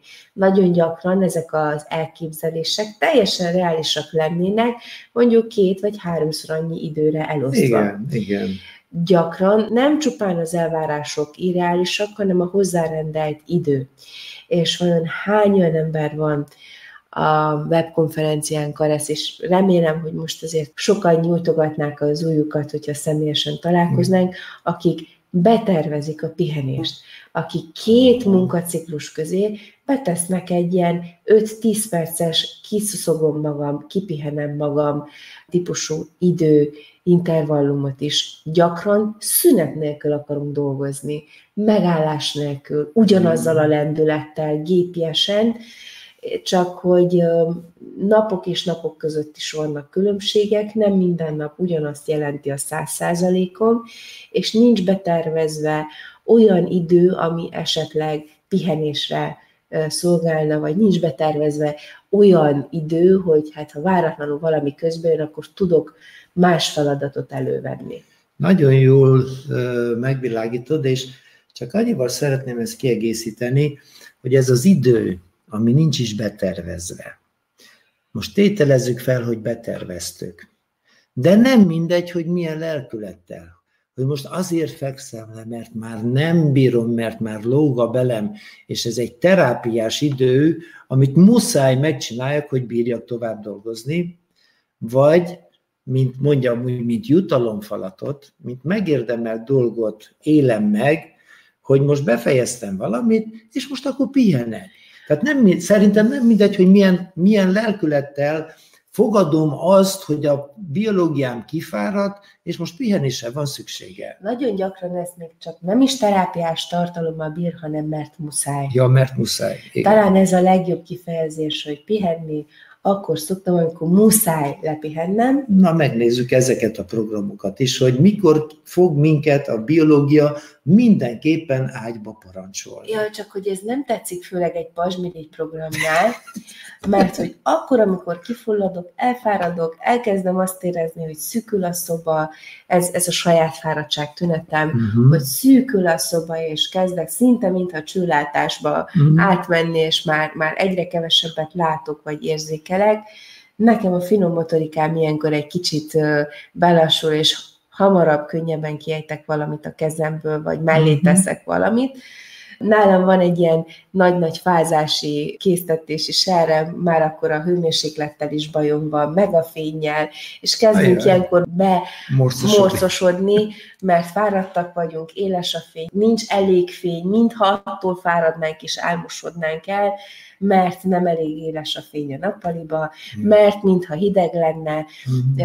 és ezek mind azok a jelek, amikre a biológiám azért hívja fel a figyelmem, hogy igen, feküdjek le pihenni, aludjak egyet.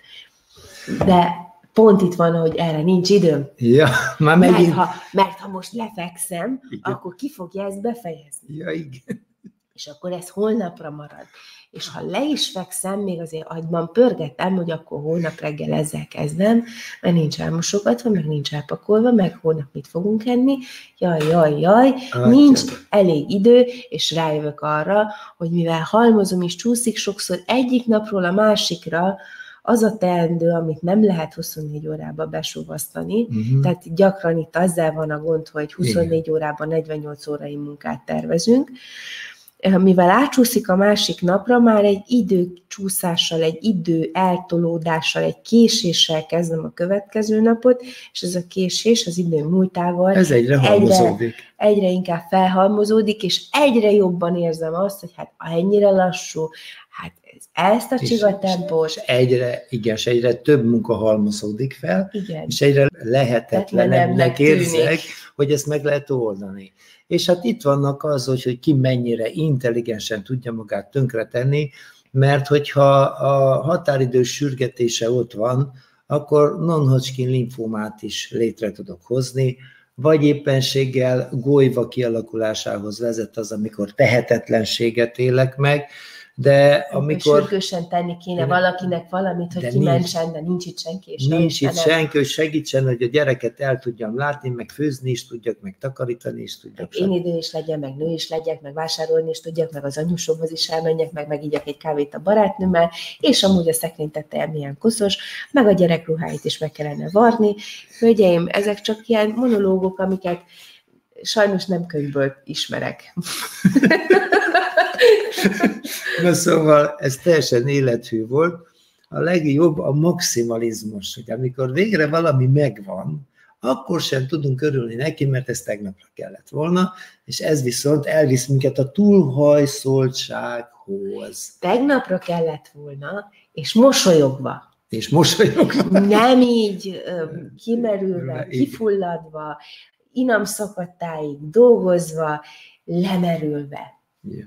Hát akkor nézzük, hogyha a túlhajszoltságig eljutunk, mert vegyük észre, hogy ezek a dolgok úgy összefüggnek, ugye?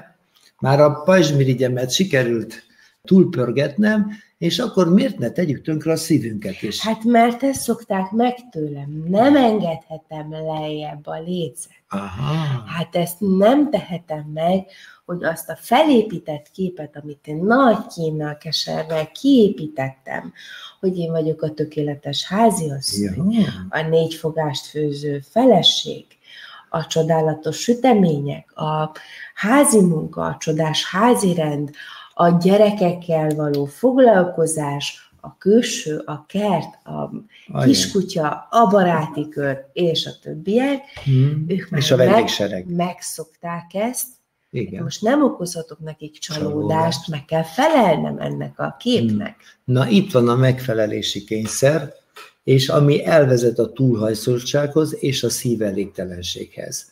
Na ez az a pont, amikor már muszáj lefeküdni. Most már tényleg a szervezetünk nem bírja tovább, és eljutunk oda, hogy fellépnek a szívritmus zavarok, össze-vissza ketyeg a szívünk, nehezen kapok levegőt. Bedobogósodik a szívem, hallok ilyet, amikor, amikor össze-vissza kalimpál, és ez nagyon ijesztő is ám, amikor, amikor erre nem számítunk és zömében, akkor amikor úgy amúgy nem csinálunk semmit, igen. Ugye itt vannak a következmények, a ritmus és vezetési zavarok, mert ahogy a szívizomzatot lesorvasztottam konfliktus aktív fázisban, természetesen ez a sorvadás érinti az ingerkeltő és ingervezető rendszert is, tehát az eredmény adott. Ha folyamatos ez a lebontás, akkor kialakul a szívizomzatnak az elvékonyodása, a szívüregek kitágulása, amit DCM, vagyis dilatatív kardiomiopátiának nevez a szakirodalom. Ha viszont ezt a túlhajszoltsági programot oda-vissza játszom, hol túlhajszolom magam, hol nem, megint túlhajszolom magam, megint nem, akkor mindig bontok és építek, és tudjuk, hogy az önleértékelésnek az a biológiai értelme, hogy többet építek vissza, mint amit lebontottam. Ez fog elvezetni a szívizom megvastagodásához viszont a szívizom megvastagodása billentyű szűkületet fog okozni.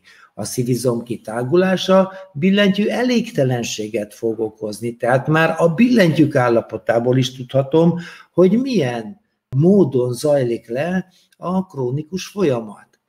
És hát ne feledjük, hogy konfliktus aktív szakaszban mindig jelentkezik a tahikardia, vagyis a szaporapulzus, hogy a, úgy érzem, hogy a nyakamban dobog a szívem. Ezt az emberek így szokták elmondani. Igen. És természetes, amikor már eljutottunk a megoldásba, megtörtént az exudatív fázis, még fáradtabb vagyok, mint voltam. És jön az epileptoid krízis, akkor itt fogjuk megtapasztalni a szív-izom infarktust. Ezek a periódusok, amikről beszéltél, a policiklikus lefolyással, ezt úgy szoktuk megélni, hogy vannak időszakok, amikor olyan nagyon-nagyon fáradt vagyok, amikor tényleg, bocsánat, a túlélésre hajtok, és minden munkahelyen vannak ilyen hajtósabb időszakok, időszakok igen. vagy azért, mert elmegyünk szabadságra, vagy azért, mert éppen valamilyen nagy Extra. akció következik, vissza az iskolába, húsvét, karácsony, ez a kereskedelemben nagyon érezhetőek ezek a fluktuációk, ezek a kiugrások, hogy Valentin naptól szilveszterig tart az őrület, közben még van egy-két ilyen Black Friday-es ciklus, amikor mindenki a feszítésével dolgozik, és akkor már tényleg az van, hogy na jó, akkor most pihenek, és persze ez alatt az időszak alatt felhalmozódnak az otthoni teendők, és amikor uh-huh. lenne egy kicsit nyugodtabb időszak, akkor igyekszünk mindent bepótolni, Na. ami elmaradt. És ezért is előfordul az, hogy gyakorlatilag soha nem tudunk a megfelelési kényszerből, a túlhajszoltságból kilépni, mert vagy a munkahelyen, vagy a családban, vagy valamilyen családtagnak, vagy valamilyen eseménynek a hátterére egy újabb túlhajszoltságot építünk ki. Így van, nagyon-nagyon jól példáztat, hogy hogyan tudjuk policiklikusan tönkretenni a szívünket. Egy fóliát behoztam a szív biológiai programjaiból, hogy azért az infarktusnak a fogalmát tisztázzuk, mert ugye az előbb a szív izom infarktusról beszéltem. És mindegy, hogy jobb vagy baloldali szív üregeinket érinti a túlhajszoltság, a konfliktus aktív szakaszban mindig emelkedett lesz a pulzus, és a vérnyomás viszont a jobb szívfél elégtelenségben lesz magas, a bal oldali szívelégtelenség esetén alacsony. Konfliktus aktív szakaszról beszélek. Tehát valakinek emelkedik a pulzusa, alacsony a vérnyomása, akkor elgondolkodhat rajta, hogy nem hajszolom én egy kicsit túl magamat. Na, a megoldási szakaszban már mindenképpen jön a szívelégtelenség, ami azt jelenti, hogy nyugalomban sem kapok rendesen levegőt, nagyfokú gyengeséggel, és folytatásban ugye a jobboldali szívizomzatot érintő túlhajszoltság, a magas pulzust és vérnyomás emelkedést fogja hozni perifériás erek szűkületével, szívizom görcsel, szívizom elhalással. Ennek a nyoma az EKG-n tökéletesen látható. A baloldali szívizomzatnak az epileptoid krízisben a pulzusa magas lesz, de alacsony lesz a vérnyomás, és keringés is sok fog föllépni. Ami azt jelenti, hogy összezuhan a vérkeringés, tetszhalott állapot lép fel, itt is szívizom görcs lép fel, szívizom elhalással, természetesen megfelelő EKG jelekkel, de ezek az emberek, akár jobb, akár baloldali szívizom infarktusról beszélek, ebből a szívizom görcsből kihozhatók ezekkel az elektromos stimulációt közvetítő eszközökkel, a defibrillátorokkal. Ez tehát szív-izomprogram a DHS pedig a túlhajszoltság. A koszorúér artériák és vénáknak a programja hasonlóan fut, viszont itt is lesz konfliktus aktív szakaszban emelkedett pulzus, vérnyomás, de ami csak itt fordul elő, az az angina pectoris. És erről egy külön webkonferencián beszélek, külön a melkasi fájdalmak és angina pectoris közti különbséget kivesézem, hogy így mondjam, tessenek megnézni, hogy nem minden melkasi fájdalom angina pectoris. Ezeknek a hátterében mindig birtok vesztés konfliktus, vagy szexuális konfliktusok állnak, és a lényeg, hogy itt a megoldásban, ahogy azt már említettem rögtön a második természettörvénynél, tünetmentesség lép fel. Viszont az epileptoid krízisben hasonlóak lesznek a tünetek, mint a szív izominfarktusnál. Látjuk, hogy a vénák részénél magas pulzus és tüdőembólia, és itt is emelkedik a vérnyomás, és hatalmas angina lép fel, abszanszal, vagyis teljes eszméletvesztéssel. A koszorúér artériáknál viszont zuhan a pulzus, zuhan a vérnyomás, és hirtelen szívhalál lép fel, és ez viszont nem rendezhető a defibrillátorral. A tünetek hasonlósága miatt a medicina nem tesz különbséget koszorú érprogram és szívizomprogram miatt, sőt abban a tévhitben van, hogy a koszorúerek elzáródása okozza a szívizomnak az elhalását. Remélem mindenki számára érthető, vagy megnézi az ezzel kapcsolatos webkonferencia anyagot, hogy tudjunk különbséget tenni túlhajszoltság és a birtokvesztés konfliktusok által okozott szívprogramok között. A túlhajszoltságnak van egy olyan árnyoldala, hogy mindenki azt gondolja a saját viselkedéséről, hogy hát ez a normális, nem? Igen, akkor gondolja azt, hogy ez a normális, hogyha a túlhajszoltságot megérjük anya-gyerek és partner oldalon is. Mert ugye ez már úgymond egy megalomán viselkedéshez vezet. Az önleértékelési konfliktusok, ha mindkét oldalt megnyilvánulnak, akkor megalomán viselkedésről beszélünk, ami a szívizom részénél azt jelenti, hogy meg akarok felelni anyámnak is, de meg akarok felelni mondjuk a munkahelyemen, vagy a páromnak, vagy bárki másnak, aki nem az anyám, vagy nem a gyerekem. És ezek az emberek látják be a legnehezebben azt, hogy ők túlhajszolják magukat. Észre se veszik. Türelmetlenek, nem tudják kivárni azt, hogy a biológiájuk visszarakja azt, amit vissza kéne tegyen, vagy visszaépítse a lebontott szivizomzatot, tömeget, mert ha ezt visszatennénk, könyörgök, legalább 10%-kal erősebb lenne a szívünk, mint volt, és hát akkor ugye ez milyen nagyszerű, akkor még jobban túlterhelhetem magamat.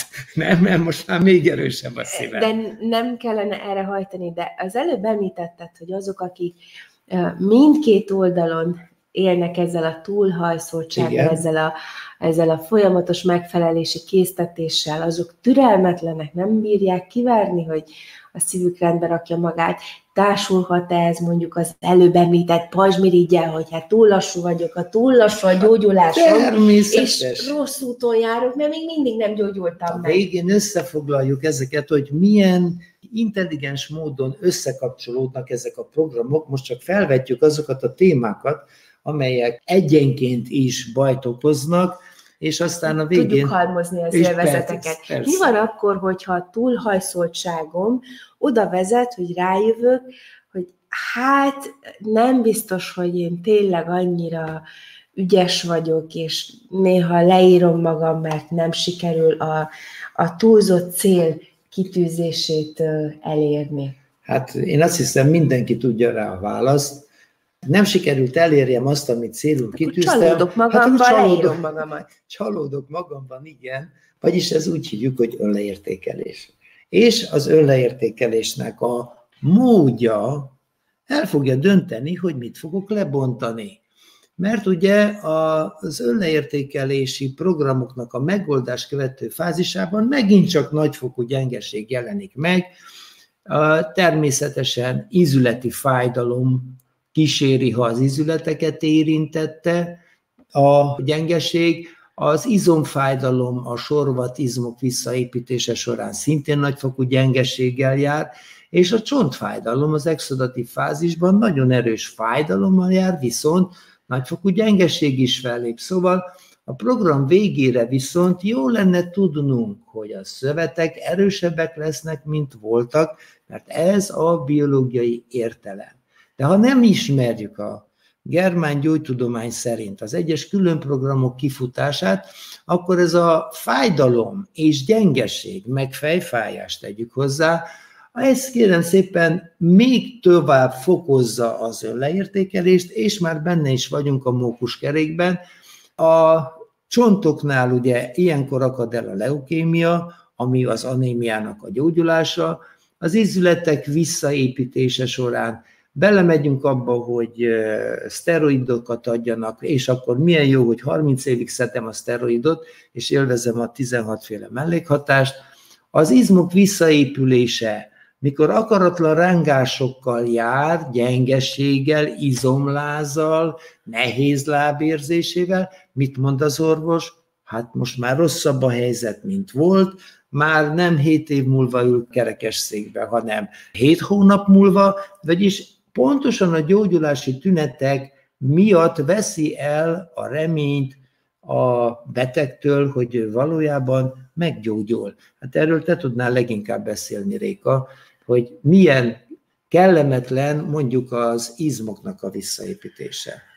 Hú, hát ez egy nagyon, nagyon érdekes helyzet, és, és éppen ma beszéltem egy kedves ismerősömmel, akinek Épp nagyon nehéz a láb érzése, tehát Aha. ilyen, mintha ólom lábakon járnak, Aha. és ez a nehéz, olmos, szinte külön életet élő láb, ami alig akar utána jönni, uh-huh. ez jelen van. Jelen van ez az izomlásszerű, meleg, égő, néha feszítő, néha, néha csak bizsergő állapot, ez az izom visszaépítésének az egyik tünete, és nagyon-nagyon örülni kéne ennek. Hm. De hát ezeket a tüneteket nagyon gyakran félreértelmezzük, mert mennyire igazságtalan, hogy ez velünk történik. Épp hm. most. Épp most, amikor már eldöntöttük, hogy holnaptól, a jövő hét hétfőtől egészséges életet élünk. Épp most, amikor már már egy csomó minden változott, amikor éppen már úgy tűnik, mintha rendeződne az életem. Uh-huh. Hát nem most történik ez velem, hát, hát nem most kezd el fájni a hátam, amikor már a, az életművem kezd helyre jönni. De ez teljesen Vagy a derekam, hát amikor a személyiségemet már helyre tettem, mert végre kimertem állni magam miatt. Végre megtettem azt az első lépést, amire hosszú éveken keresztül vágyakoztam. Most, amikor amikor már úgy tűnik, hogy egyenesbe vagyok, hát nem pont most recsent meg a hátam, biztos a légkondi, a húzat, Igen. az őszi fáradtság, ja. a front, a különböző otthon elkövetett dolgok, megemeltem a szatyrolt, Igen. rosszul léptem, rosszul leugrottam a, a az utolsó lépcsőről, rosszul hajoltam, amikor a cipőm bekötöttem, hirtelen hajoltam le, Igen. és a derekam erre nem volt felkészülve, hogy most kell hajolni. Nem beszélted meg a derekaddal, hogy most le fogsz hajolni. Annyi, hogy itt tudunk ilyen, hát, ilyenkor Igen. odarakni. Meg biztos kitakaróztam, meg megcsapta a hátamat a hideg. Nem fáztam meg, de a hideg az ott pont pont oda ment. Besúrant. Besúrant, mert hogy mennyi mindent tudunk megélni, és szeretném felhívni ez a tavaszi, őszi fáradtságra a, figyelmet. Uh-huh. Pontosan ezek azok az időszakok, amikor nagy változásokat kezdünk el az életünkbe. Gondoljunk csak a tavasszal elkezdett fogyókúrára, hogy nyáron jól nézzünk ki. vagy vagy, bocsánat, ilyen blőtt példákat de mondom, nagyon, de nagyon ez, életszerű. sok embert érint, úgy hiszem, Igen. vagy az iskola kezdés, hogy meg tudok-e felelni ezen a, az új iskolában, ebben az új közegben, be yeah. tudok-e illeszkedni, mi lesz velem, hogy fogok ebben az új környezetben boldogulni, és amikor rájövök, hogy tényleg boldogulok, akkor helyre rakom a személyiségemet, és ráfogom, hogy reggel rövid ujjúba mentem el, mert számítottam a jó időre, és megcsapta a hátamat a hideg nagyon-nagyon jól összefoglaltad, nagyon életszerű a dolog, de szeretnék itt kiemelni egy nagyon fontos dolgot, mégpedig a csontoknak a programját. A csontig hatoló önleértékelés ez az már sokkal mélyebben érint. Ez a legsúlyosabb. Komolyabb önle. dolgok, mint, mint az, hogy hogy felelek meg egy helyen. Ez az a történet, ami úgy mélyen belénk, mintha belénk szóródna, belénk csapódna valami, azok a történetek, amiktől úgy érezzük, hogy most már soha többé nem fogunk tudni úgy magunkra nézni, mint azelőtt. Húva, húva.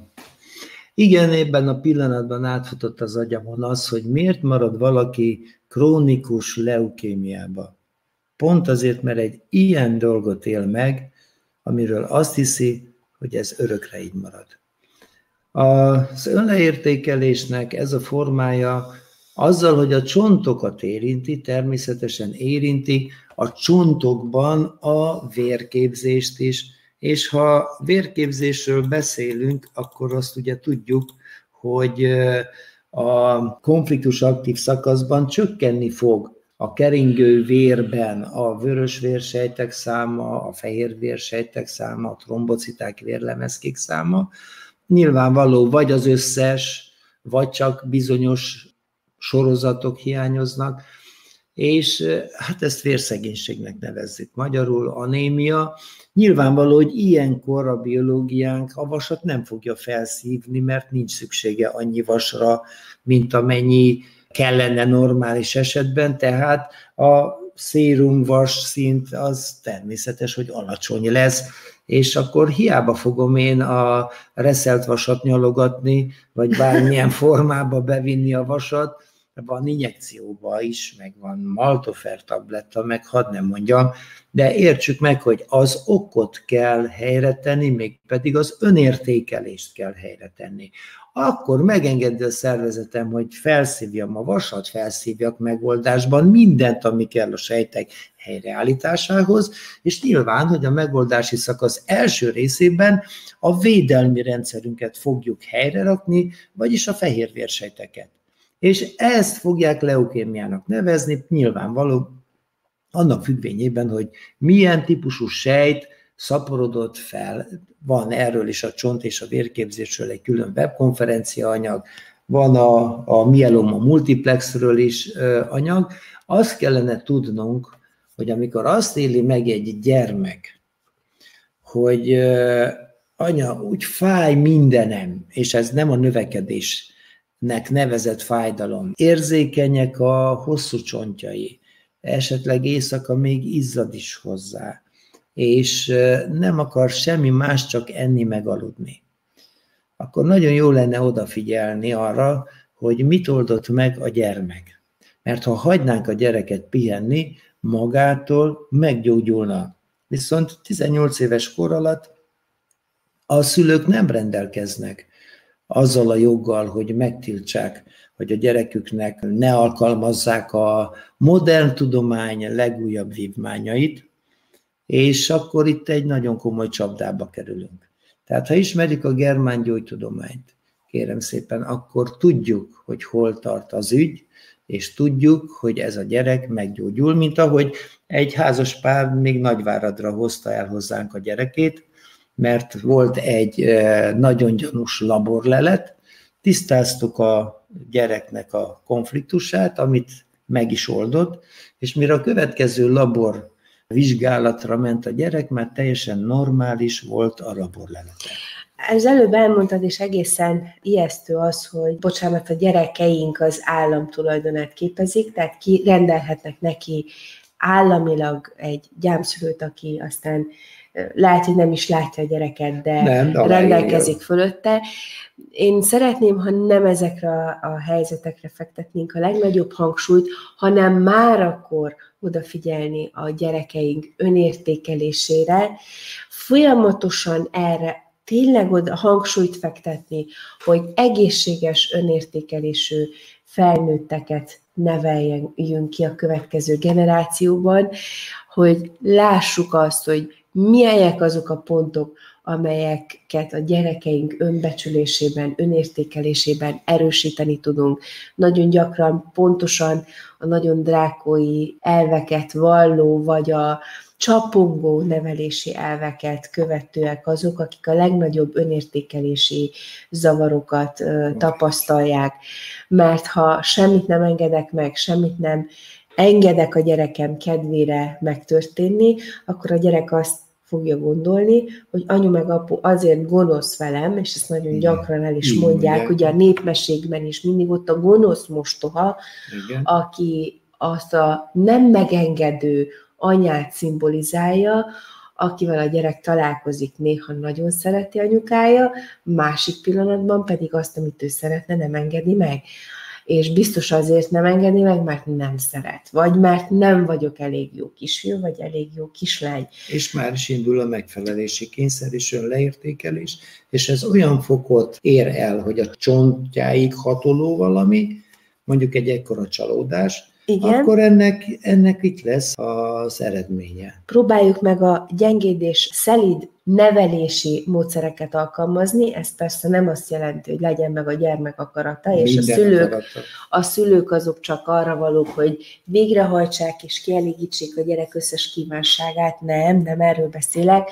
A szelíd nevelési módszerekben az van, hogy a gyerek tudja az ok-okozatot, a vagy-vagy választás, tehát ne az legyen, hogy, hogy azért nem merünk kimenni a gyerekkel a közértig, mert minden egyes nap hisztéria és, és ordibálás, krokodilkönnyek mennek, ha, ha nem vásárolom meg az alsó polcot, amit a gyerek kinéz magának, tehát tűzzünk ki vagy-vagyot, legyenek olyan pillanatok, amikor mi is engedünk, de az alapvető nevelési elveket következetesen tartsuk be, és itt a következetességen van a hangsúly. Mert ha ma megengedem, és holnap nem, akkor, akkor ez megint érthetetlen. Ha ezt megengedem, de nem mond el apunak, az megint nem jó. Ezt nem mond el anyukádnak, mondja a nagymama, amikor benyomja a 2000-est a gyerek zsebébe, és gyakorlatilag a gyerek körbejárja a rokonságot, és egy 10-20-ast összegyűjt úgy, hogy minden felnőtt arról beszél, hogy kinek nem mondja meg. Ezek azok a, a helyzetek, amikor a családi összefogást kell alkalmazni. Fontos lenne, hogy a gyereket ne a pénzünkkel kárpótoljuk az időhiányért, vagy a szeretetlenségért, tehát ne legyen megfizetve azért, hogy most két hétig nem álltam veled szóba, és nem voltam veled kedves itt egy ötös mennyel, és, és most sem törődök vele, tehát itt a hogy felmentésem. Igen. Ez a, az egyik, a másik része a túlzott szabadság, vagy a szabados elveken alapuló nevelési struktúrának az a hátránya, hogy nem alakul ki kötődés, bármit szabad, mindent lehet. Lassan én vagyok az anyu meg az apu főnöke otthon, mm-hmm. és kiskirálylányként vagy kiskirályfiként dirigálok és parancsolok mindenkinek, mert megtehetem, mert alapjában mivel nem lettek ezek a, az együttélési szabályok időben lefektetve, vagy nem voltak betartva következetesen, és ezek mind olyan helyzeteket teremtenek, ami előbb-utóbb óriási leértékeléshez vezetnek. Fontos lenne a gyerekeinket nem az iskolai jegyek, osztályzatok alapján ítélnénk meg, hanem elmondanánk, hogy ezek csak számok, amelyek egy pillanatnyi teljesítményt jelentenek. Ő nem a rossz tanuló, a rossz gyerek, hanem az, akinek egy kicsit többet kellene fizikából vagy kémiából tanulnia.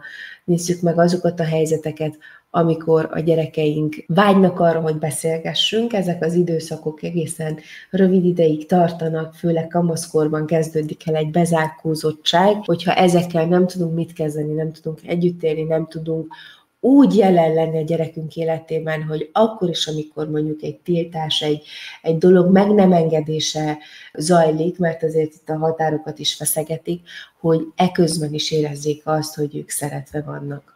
Nagyon-nagyon értékes kiegészítést tett Réka, és ha összefoglaljuk az elmondottakat a végén, akkor meglátjuk, hogy ezek biza nem csak rokonsági kapcsolatban vannak, hanem testvéri kapcsolatban vannak ezek a programok egymással. Mert ugye az önleértékelési programok által okozott gyengeség már hozza magával ugye a megfelelési kényszert is, ez a túlhajszoltságot, de az, hogy ezt meg tudjam tenni, ez be kell kapcsolni a turbót, és akkor már mind a pajzsmirigy, mind a szív, mind a vázrendszer érintett, és a végén rájövök, hogy rossz úton járok, mert akármit csinálok, nem gyógyulok meg, és már beindítottam a legvégén a mellékvesre kérek programot, amivel ugye elkezdtem. De természetesen lehet ezt más sorrendben is csinálni. Abszolút így van, és gondoljunk csak arra, hogy igyekszek jól élni, Igen. igyekszek minden szabályt betartani, igyekszek arra törekedni, hogy mindenkivel jóba legyek, ezek az örök diplomata típusú emberek, akik a mondatot azzal kezdik, hogy egyetértek vele, de aztán kiderül, hogy mégsem, vagy azok a szituációk, amikor jó pofát vágok valamihez, amihez nekem nem, nem fűlik a fogam, amikor megkötöm a 9817 egészségtelen kompromisszumot ugyanazzal az emberrel, reménykedve abban, hogy majd az idő ezt megoldja, majd ja. valahogy lesz, majd csak meggondolja magát, majd csak meggyőzöm arról, hogy mégis úgy csináljuk, hogy ahogy én gondolom. Tudom. És uh, felmerül bennem a kérdés 15-25-35 év házasság után, hogy mi a fenét keresek én itt tulajdonképpen. Senki nem figyel rám, senki nem ért velem egyet, ez ugye ez a társas magányomnak a, a része. Rájövök, hogy rossz úton járok, mert valahol nagyon-nagyon rossz irányba fordult ez, ez a kapcsolat, Igen. és elkezdem magamban keresni a hibát, hogy mit nem csinálok jól. Amikor elkezdem magamban keresni a hibát, ez a legkönnyebb, mert ugye így magammal le vagyok kötve, ez újabb feszültségeket kelt, és itt már a vérképem is kezd elindulni valami irányába, aztán rájövök arra, hogy hát lehet, hogy nem voltam elég fair partnere a partneremnek, elég fair anyja a gyerekemnek, és akkor ugye már vállamat bontom, ha nem tudom elhárítani ezeket a tényezőket, embereket, akkor a kezem fog fájni. Igen, és ennek a következménye a megoldást, meg abban látom, hogy túlpörgetem magam, és beindítom a pajzsményemet. Nyilvánvalóan túl lassú vagyok így, hogy itt-ott fáj, tehát azért a, a tempóm az nem a régi, nem a fénykoromban Igen. van, tehát akkor ehhez azt mondom, hogy túl lassú vagyok. Ha nem tudom ugyanazt hozni, akkor nem fognak még ennyire sem szeretni, benne van a megfelelési kényszer, hát ha többet teszek le az asztalra, akkor jobban fognak rám figyelni, jobban fognak szeretni, és nagyon gyakran van az, hogy egészen későn veszem észre, hogy ez a kapcsolat a vesztébe rohan, és rossz úton járunk, mert nem változik a Hofnager Pist. Pisti, vagy a Mézga Géza, és ugye Paulának volt egy ilyen megjegyzése, hogy, és én kosarat adtam a Hufnager Pistinek, ez a Igen. teljes csalódottságában mondta ki, mert rossz úton látta a Mézga Gézával való házasságát, és nagyon gyakran akkor jutunk ezekre a felismerésekre, amikor a, az alapvető mama-papa funkció megszűnik, kiröppennek a gyerekek a, a fészekből, ott maradunk ketten a nagy házba, és nem tudunk egymással mit kezdeni. Kiderül, hogy két idegen lakik egymás mellett, akik teljesítették a biológiai feladatukat, kötelességüket, kötelességüket teljesítették, és most valahogy érzelmileg, lelkileg felfedezik, hogy semmi közük egymáshoz.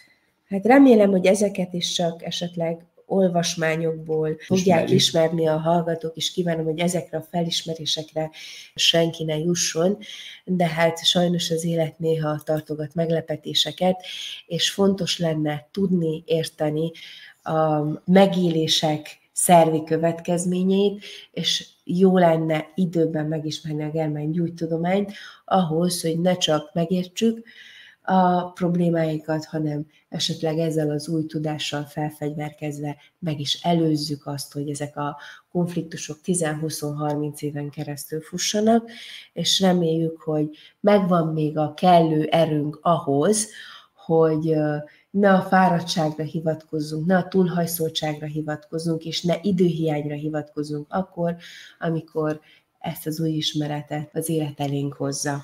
Hát ezt az új ismeretet az élet elénk hozza minden kedden este, és remélem, hogy a mai előadásból is kiderül, hogy vegyük észre, hogy ezek mögött is értelmes programok állnak.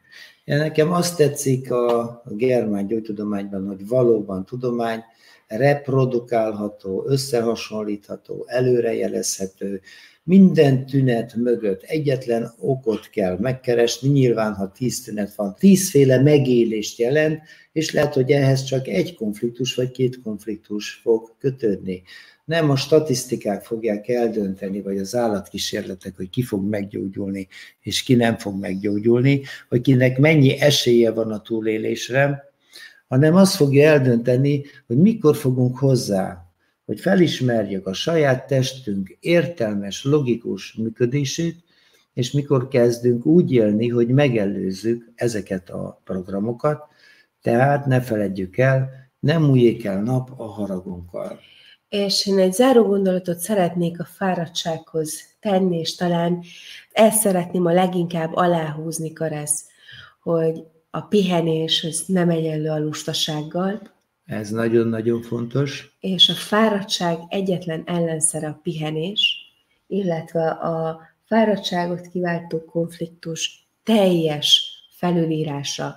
Nem csak úgy gondolom, hanem úgy érzem alapon is, és remélem, hogy bármilyen testi fáradtságról beszélünk, szellemiről, vagy fizikairól, érzelmi fáradtságról is, amikor azt érezzük, hogy teljesen kiégtünk, uh-huh. akkor is eszünkbe jut, hogy ne a tünetekkel foglalkozzunk, hanem a kiváltó okkal, ha kell, pihenjünk, a pihenés nem egyenlő a lustasággal, és remélem, hogy nem leszünk lusták, restek megismerni azt, hogy hogyan tudunk magunkon segíteni úgy, hogy valójában nem a külső változásokat, hanem a belső gyökeres átalakulásokat követjük.